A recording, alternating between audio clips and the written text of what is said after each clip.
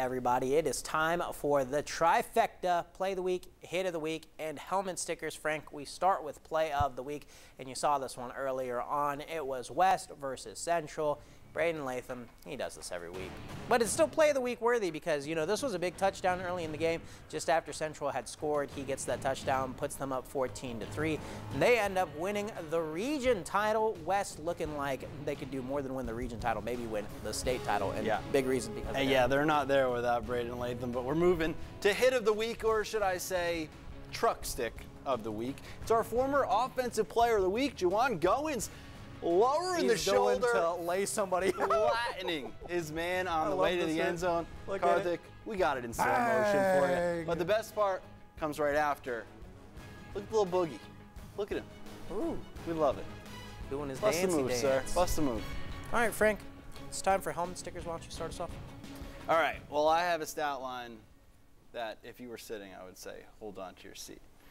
We've got Carter, quarterback, 411 yards, seven touchdowns, and oh yeah, he also had 60 yards, two more touchdowns, nine total touchdowns for the Carter QB. Wow, that's really good. Uh, that's a lot.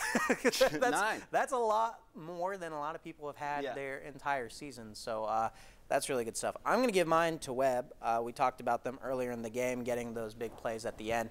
Uh, obviously, congratulations to David Meskey. Uh, you know, finishing his final season, uh, regular season undefeated, and you know Charlie Robinson. He was fantastic the entire game, and obviously gets them that touchdown where they're able to get the two-point conversion to even you know you know win the game. So uh, fantastic for Webb. A great season to be undefeated, and you know claim their region title as well in the. Uh, D2 2A, so just absolutely good stuff. And you know, now we're ready for the playoffs. Yeah. Next week's playoffs. I can't right believe the they're already here.